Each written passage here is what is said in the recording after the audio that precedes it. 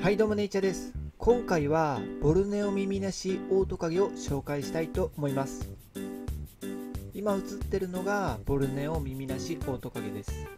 見てもらうと分かるんですけど特徴的なね見た目をしたトカゲになります。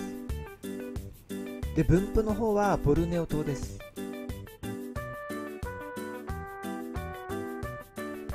で大体体長の方が40センチぐらいになります。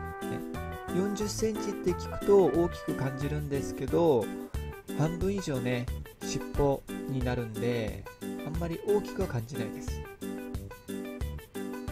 でこのボルネオ耳なしオオトカゲなんですけどオオトカゲではなく耳なしトカゲ科です。一族一種。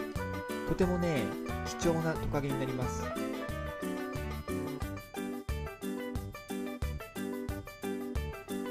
でこのトカゲなんですけど基本的に動かないんですけどミミズをね見つけると本当にすごい動きをします。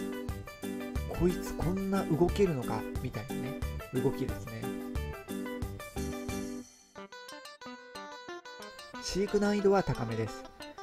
なんで高めかっていうと餌がねミミズというところですね。ミミズってね、本当になかなか売ってなくて、まあ、じゃあ自分で取りに行くかってなった時に、夏はね、結構ね、公園とかにいるんですけど、冬、冬がね、全くいないです。なので、ミミズを確保するのは本当に大変です。まして、1週間ぐらいね、もうね、放置してたら持たないんですよ、ミミズ。なので、ミミズをね、常時ストックすることも大変。なのでね、飼育難易度は高めです。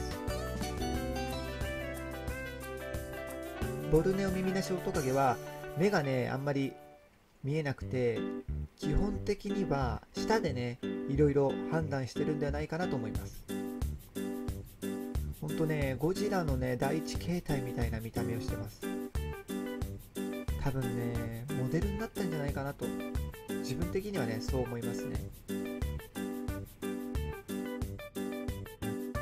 岩の隙間とかに入りやすいようにすごい平たくなってます。国内で唯一見れるところが伊豆です。伊豆だと繁殖も成功されてるみたいです。野生での耳なしオオトカゲの発見例は本当にね少なくて本当にレアなトカゲです。まあねやっぱりこういうなかなかお目にかかれないトカゲは大切に育てて繁殖までできたらいいなとは思ってます。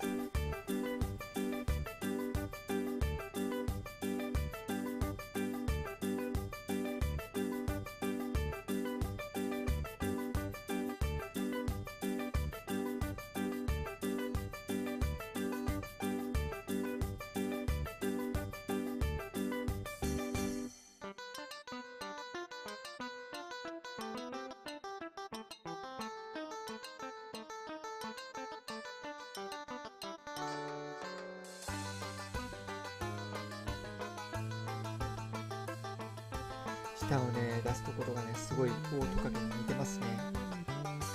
だからオオトカゲって名前がついてるのちょっとそこら辺は分かんないんですけど本当にすごい不思議なトカゲです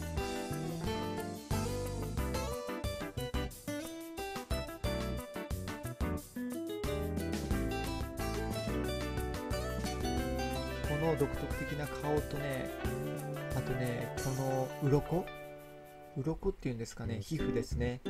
かっこいいんですよ。本当に。ぜひねこの耳なしオトカゲを今後も見たい方はチャンネル登録お願いします。今回はねこんな感じで終わりにしたいと思います。ご視聴ありがとうございました